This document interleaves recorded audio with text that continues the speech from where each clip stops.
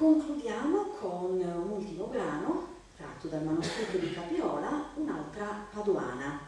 Ecco, dicevo che il manoscritto contiene parecchi ricercare, ne contiene 13, ne abbiamo ascoltati 3, contiene delle composizioni tratte dalla musica vocale, quindi trascrizioni di canzoni in voga all'epoca e mh, contiene anche numerose danze. Questa paduana mm, questa è Paduana la francese che ho suonato all'inizio, questa è un'altra Paduana ed è una danza in ritmo binario, mh, probabilmente una pavana, quindi una danza lenta che appunto veniva danzata eh, con, passi, con passi lenti in ritmo binario e per la quale sono anche state scritte tantissime musiche strumentali. Quindi concludiamo con questa Paduana la francese del nostro Vincenzo Capirola.